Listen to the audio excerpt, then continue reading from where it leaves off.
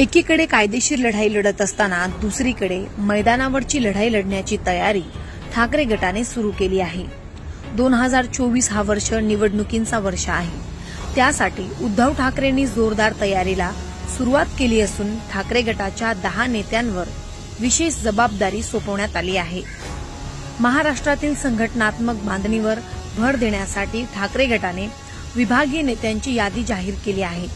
विभागांवर संघटनात्मक तसंच आगामी लोकसभा विधानसभा निवडणुकींच्या दृष्टीने या नेत्यांवर महत्वाची जबाबदारी सोपवण्यात आली आहे. कोणत्या नेत्यांवर कोणत्या मतदारसंघाची जबाबदारी दिली आहे? पाहूयात. खासदार संजय राऊत उत्तर महाराष्ट्र आणि पुणे. या भागातील नाशिक दिंडोशी जळगाव रावेर धुळे नंदुरबार नगर शिर्डी पुणे बारामती शिरूर मावळ या लोकसभा मतदारसंघाची त्यांच्यावर जबाबदारी आहे. तर पिंपरी चिंचवड मावळ या विधानसभा मतदारसंघाची जबाबदारी राऊतांवरती सोपवण्यात आलेली आहे. अनंत गीते कोकण आणि या भागातील रायगड मावळ या लोकसभा मतदारसंघाची त्यांच्यावर जबाबदारी आहे. तर पनवेल कर्जत उरण या विधानसभा मतदारसंघाची त्यांच्यावरती जबाबदारी सोपवण्यात आलेली आहे. माजी खासदार चंद्रकांत खैरे मराठवाडा. मराठवाड्यातील संभाजीनगर आणि जालना. या लोकसभा मतदारसंघाची त्यांच्यावरती जबाबदारी आहे. खासदार अरविंद सावंत पश्चिम विदर्भ.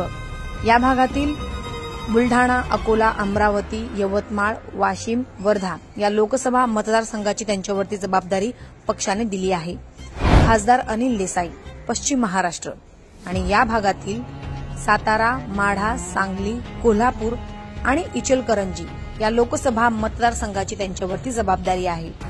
आमदार भास्कर जाधव पूर्व विदर्भ आणि या विदर्भातील नागपूर रामटेक भंडारा गोंदिया चंद्रपूर गडचिरोली आणि चिमूर या लोकसभा मतदारसंघाची भास्कर जाधव यांच्यावरती जबाबदारी आहे. खासदार विनायक राऊत कोकण आणि कोकणातील रत्नागिरी आणि सिंधुदुर्ग या लोकसभा मतदारसंघाची त्यांच्यावरती जबाबदारी आहे. खासदार राजन विचारे कोकण. कोकणातील ठाणे कल्याण भिवंडी पालघर या लोकसभा मतदारसंघाची त्यांच्यावरती जबाबदारी आहे. आमदार रवींद्र वायकर मराठवाडा. मराठवाड्यातील नांदेड हिंगोली आणि परभणी या लोकसभा मतदारसंघाची त्यांच्यावरती जबाबदारी आहे. आमदार सुनील प्रभू मराठवाडा सोलापूर.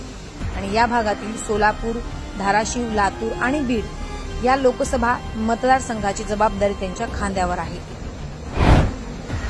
तर आपण ग्राफिकच्या माध्यमातून समजून घेतलं की कोणत्या नेत्यांवरती कोणत्या विभागाची जबाबदारी सोपवण्यात आलेली आहे.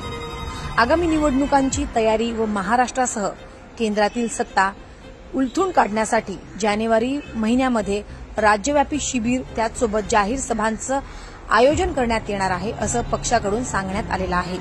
या संदर्भात लवकरात लवकरच आम्ही माहिती प्रसिद्ध करू असंही त्यांच्याकडनं सांगण्यात आलंय. आमदार अपात्र प्रकरण त्याचसोबत निवडणूक आयोगात चिन्हाबाबत सुरू असलेली लढाई. या दोन्ही लढाई सुरू असताना आता जनतेच्या न्यायालयात उतरण्याची ठाकरेंनी आता जोरदार तयारी सुरू केली आहे. सीमा आढे लोकमत डिजिटल मुंबई.